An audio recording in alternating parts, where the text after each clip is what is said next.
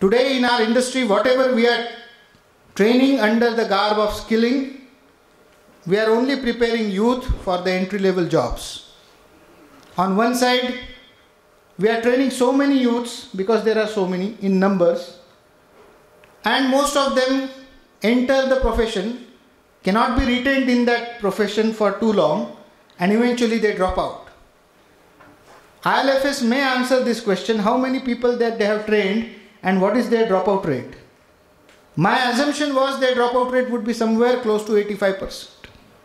The retention in the industry of a skilled youth today is not more than 15%. And if that is the case, what are we skilling people for? Secondly, when I ask the same question to the industry, is there a skill gap? They say yes, there is a skill gap.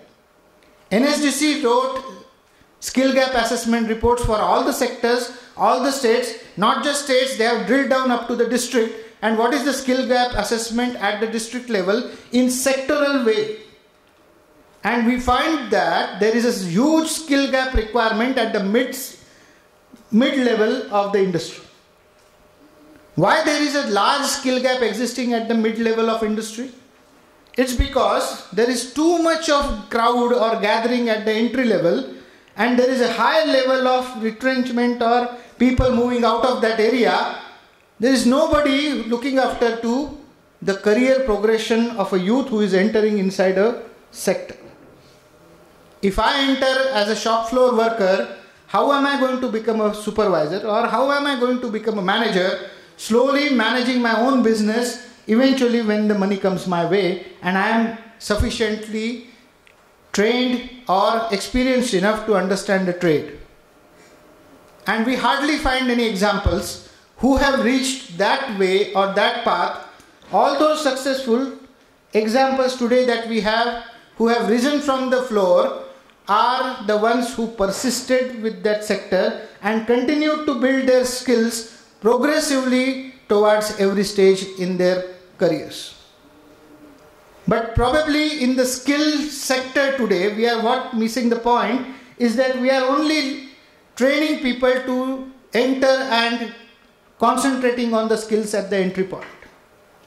What most of the industry needs today is sustainable skill development of a person who has joined the industry and not just that it is a continuous supply of newly semi-polished manpower continuously available so that we can keep our costs down. No doubt that is one consideration for the sector, but simultaneously it is the requirement that we have a skilled second set of second level, third level and the topmost level of supervisory and managerial staff.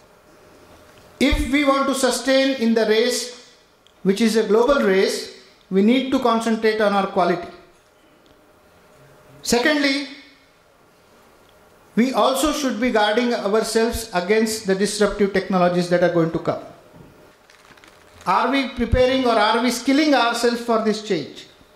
Are the innovations that are happening outside in the world, are we able to incubate those kind of innovations in our own area? Are we doing enough in that direction?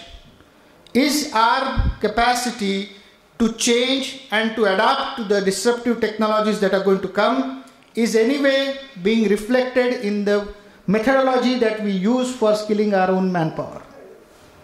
I think these are the pertinent questions that we need to answer. There are so many sectors, I am not touching upon all the sectors. There is a lot of opportunity both in urban areas as well as rural areas. With advent of internet, you can work at any place, anywhere with your computer at your hand. And if you have that ability to have access to the world, probably the distance also is getting limited. So I think skilling is one domain which needs to refocus, regroup itself, and concentrate at the long term requirements of our country and our industry.